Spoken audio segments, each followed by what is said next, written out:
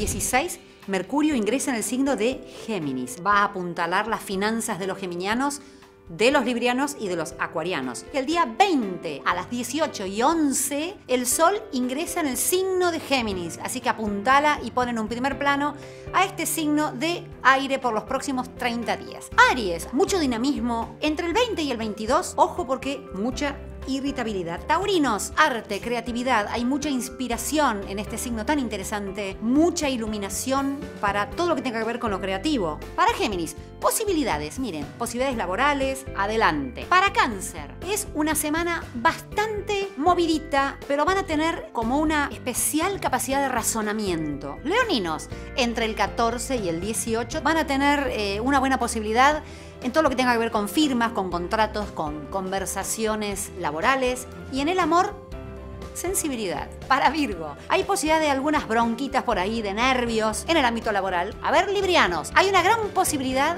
para demostrar lo que son en el plano laboral. Muy bien el amor para Libra, sigue bien Escorpio. Revisar, ¿eh? revisar lo que uno dice, de acuerdo a lo que oye. Para Sagitario, ojo con Mercurio, está en el opuesto, Mercurio está en Géminis, así que pueden haber gastos inesperados, gastos mal hechos.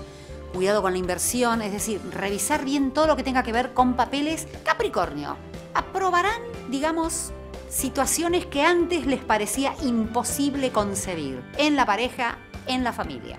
Acuario, hasta el 18 la luna está molestando, va a estar molestando. Pero en adelante van a poder tener situaciones de mejoría en el plano afectivo sobre todo, que viene algo movilizado. Acuarianos, piscianos, tienen que buscar opinión y asesoramiento de acuerdo a cosas que ustedes están planeando hacer. Esto es todo, nos vemos en la próxima.